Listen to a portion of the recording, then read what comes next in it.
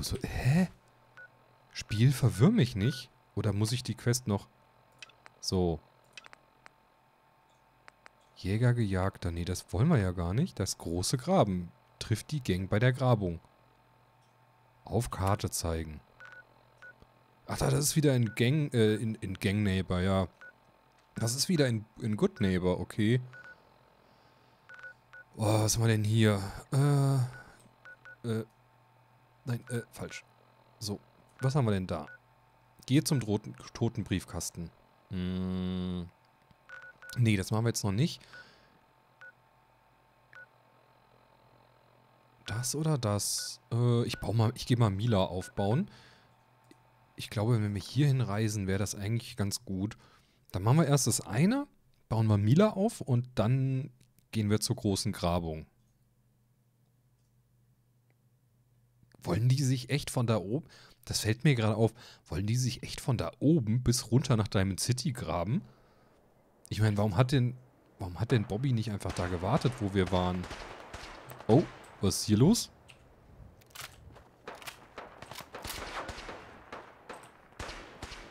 Wir zischen hier irgendwie die Kugeln um die, um die Ohren. Ach, hier sind wieder... Äh, ich weiß gar nicht, ob die... Die hier vorne sind nicht nett.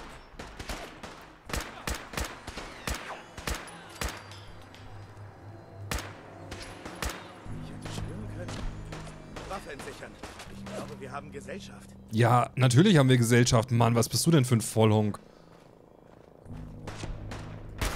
Verdammt, gerade fing es an, mir Spaß zu machen. Äh, na toll, jetzt, das ging jetzt natürlich wieder schneller, als ich dachte. Ach.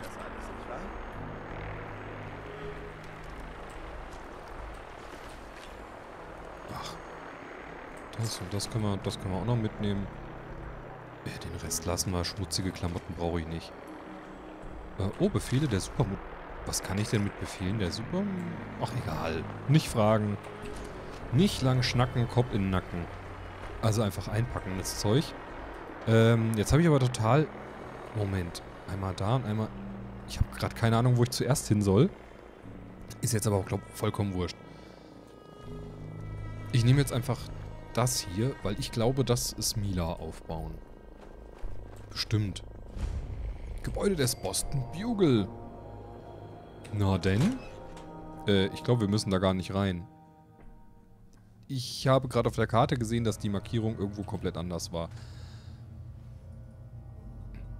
Ähm, waren wir, nicht, waren wir hier nicht auch schon drinne? Stahl können wir auch mal mitnehmen. Waren wir nicht hier schon... waren wir nicht... War, war, Nee, oder? Waren wir hier drinne?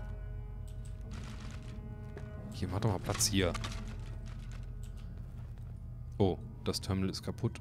Oh, tut mir leid, dass ich... Den, na, egal. Nein, tut mir nicht leid. Ähm, Moment. Moment. Ähm, ich guck mal auf der lokalen... Gehe zum toten Briefkasten. Okay, also sind wir doch richtig anscheinend. Dann holen wir einfach mal den Aufzug und fahren mal mit dem nach oben.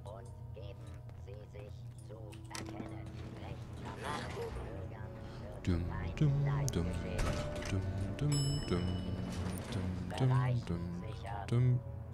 Oh, ich sollte hier besser aufpassen.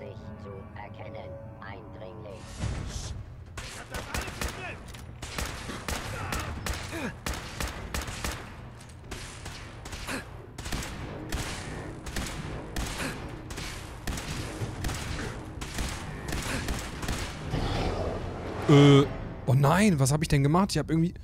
Ah, ich habe nicht aufgepasst. Ich hätte vielleicht doch in Deckung gehen sollen oder auf meine Lebensanzeige achten sollen. naja, es ist...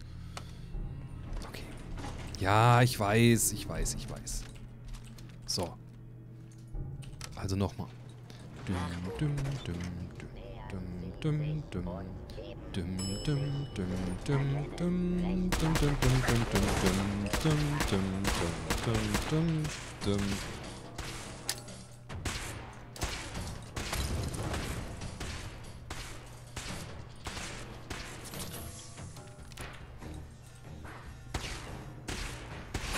probieren es mal so.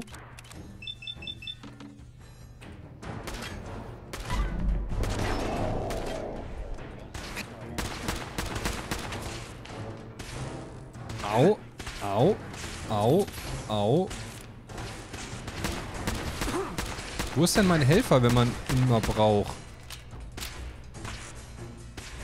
Na, ich glaube, Stimpaks habe ich genug, also da kann ich mich noch ein bisschen mit... So. Oh, und wir haben Level Up. Jetzt kann ich ach, erstmal schnell hier natürlich Level Up. Hm, Rang 3 Mods für Waffen. Findest mehr Kronkorken in Behältern. Nicht automatische Pistolen. Achso, Pistolen. Nee, da hätte ich gerne was für... Das da klingt eigentlich ganz gut. Und ich hoffe, die Waffen... Oder ist das das? Äh, Moment. Tab. Was ist das hier? Angriffe nicht mit nicht automatischen Gewehren. Das ist das, was ich will. Ich will endlich mal ein bisschen mehr Schaden auch machen. Nein, komm wieder hoch. Ich will dich looten. Ach, verdammt.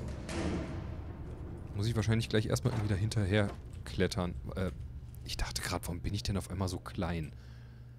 Okay, was haben wir denn hier? Nukal Cherry, das ist doch schon mal gut. Eine Kaffeetasse ist immer gut. Kaffee auch. Esso Trink. So, Boston Bugle Artikel Terminal. Ich bin mal sehr gespannt, was es hier gibt. Erstmal das Passwort natürlich wieder knacken. Komm, mach mal schneller hier. Moon Soon. Ich probiere mal Moon. Drei Treffer. Bin durch. Dann.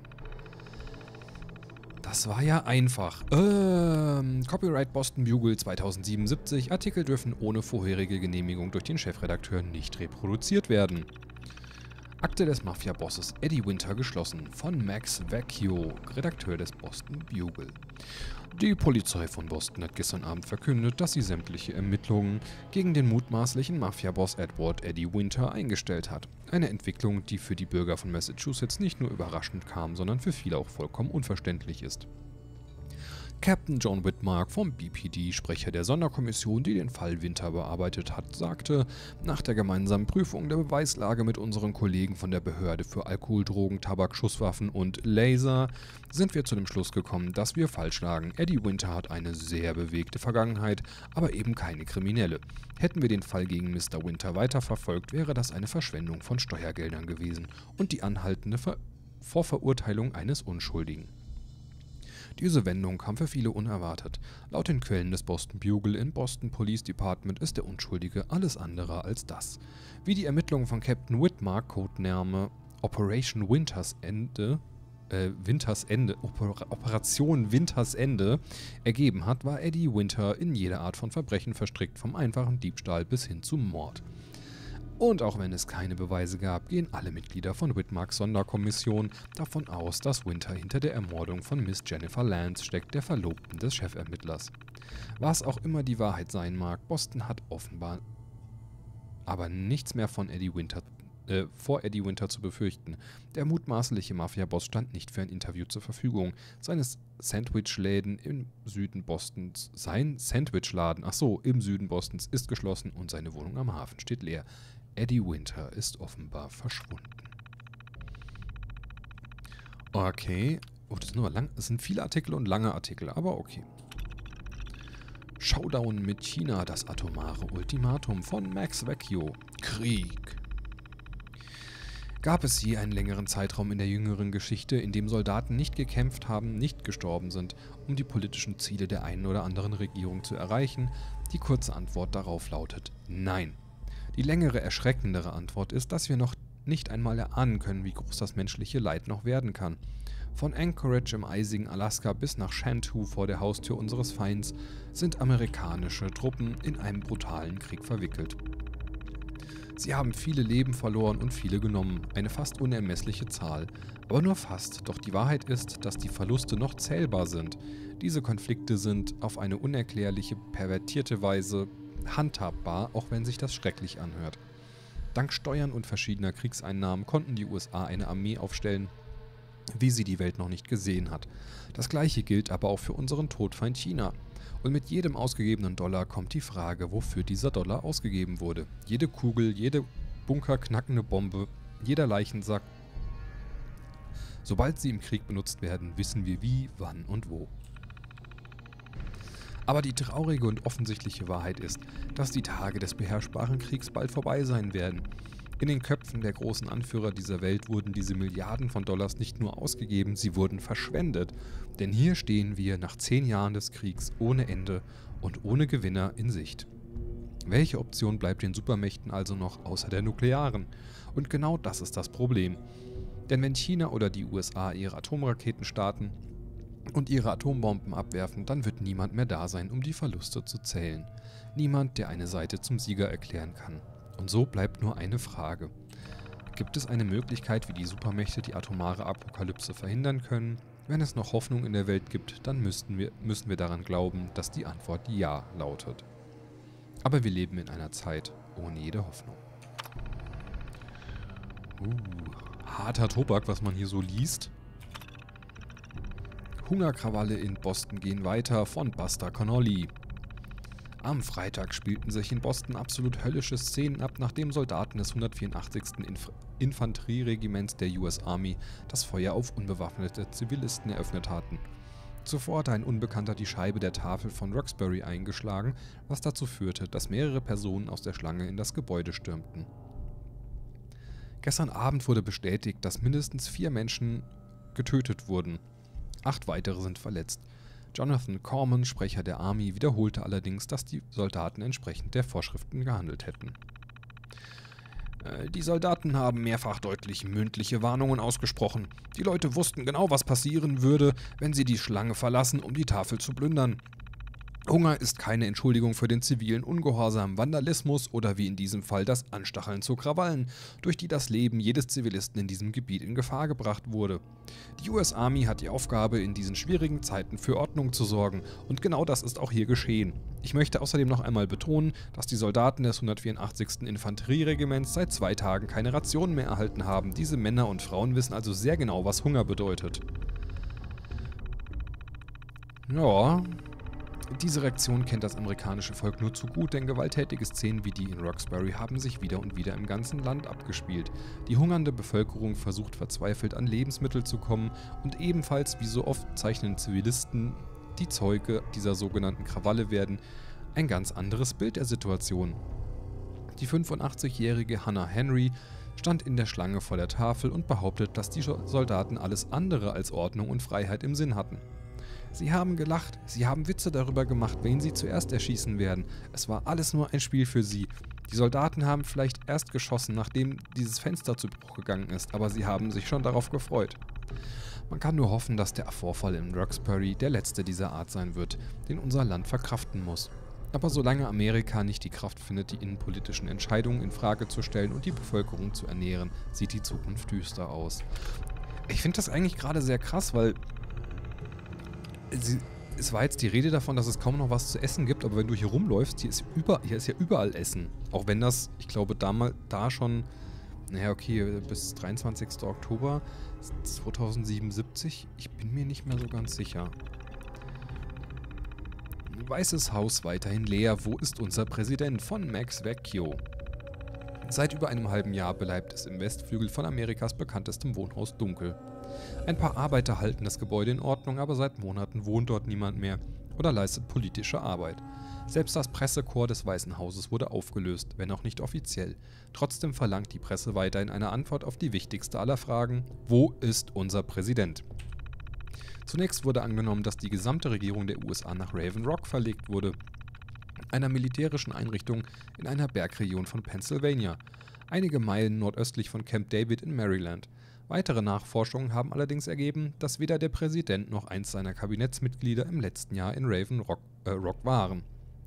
Wenn also nicht Raven Rock, wo dann? Nach einer umfassenden und eingehenden Recherche hat der Boston Bugle die Antwort auf diese Frage gefunden. Und die werden unsere Leser sicherlich gleichermaßen als schockierend und befremdlich empfinden. Der Präsident führt unser Land von einer Poseidon Energy Ölbord. Ich habe gerade hier Knoten in der Zunge. Der Präsident führt unser Land von einer Poseidon Energy Ölbohrplattform aus, die vor der Küste von San Francisco liegt. Sicherlich eine eigenartige Wahl für eine Kommandozentrale des Präsidenten, oder doch nicht? Nicht, zumindest nicht so sehr, wie es zunächst den Anschein haben mag. Laut der Aussage einer gut informierten Quelle trägt die Ölbauplattform die Bezeichnung Kontrollstation Enklave, was die lang anhaltenden Gerüchte über eine geheime militärische Schattenregierung stützt. Die Enklave, die gab es doch vorher schon, die Enklave genannt wird und im Falle eines Atomkriegs die Kontrolle über die USA übernehmen würde. Das Geheimnis unseres verschwundenen Präsidenten wurde also endlich gelüftet.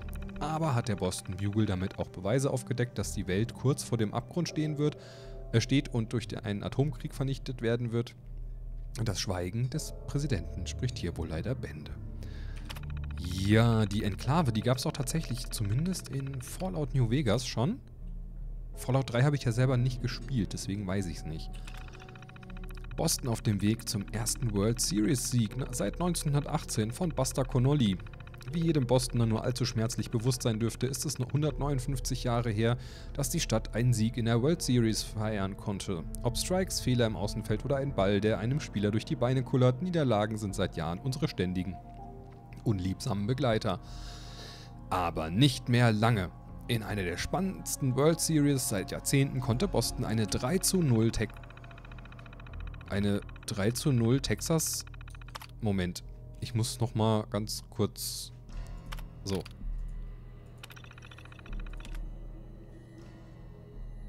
In einer der spannendsten World Series seit Jahrzehnten konnte Boston eine 3 zu 0 Texas herausarbeiten. Ähm. Keine Ahnung. Ich habe nicht so viel Ahnung von Baseball, deswegen weiß ich nicht, was dahin gehört. Batting, Fielding und Pitching sind perfekt ausbalanciert, vor allem dank des legendären Trainers Dusty Wilder und haben dem diesjährigen Team damit zum ersten Mal seit ewigen Zeiten eine Chance auf den Sieg eröffnet. Noch ermutigender als die Tatsache, dass das vierte Spiel hier in Boston stattfinden wird, ist, dass das Team bisher noch nicht auf den Star-Pitcher Matt the Missile Murtaugh zurückgreifen musste. Mit ihm auf dem Mount sagen einige nicht nur einen klaren Sieg für Boston voraus, sondern sogar eine zu Null Klatsche für Texas.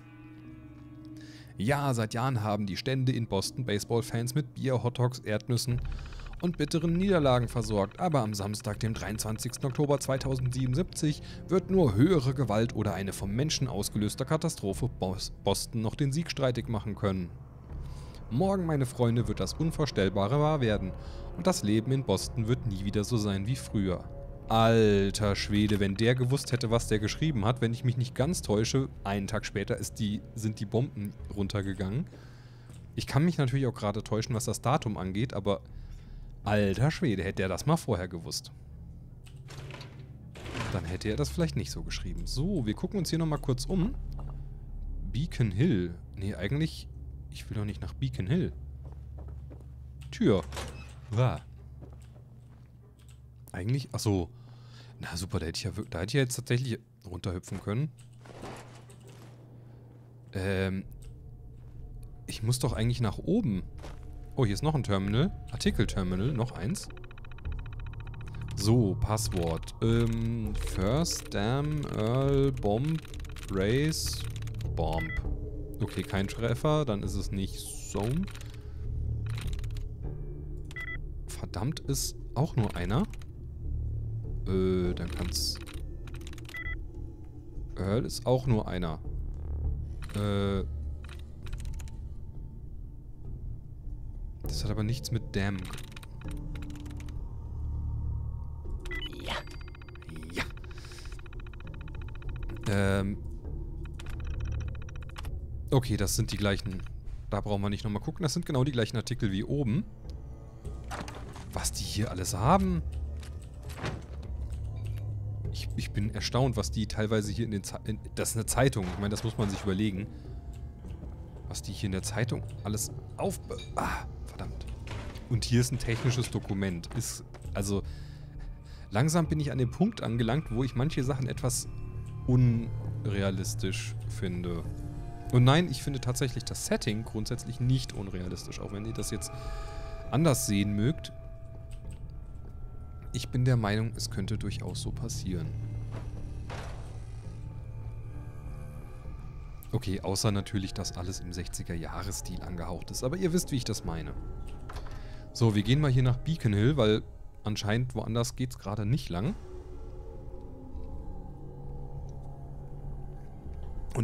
Wie ich schon meinte, ich muss mir mal angewöhnen, auf, äh, in den Ladescreens weiterzureden.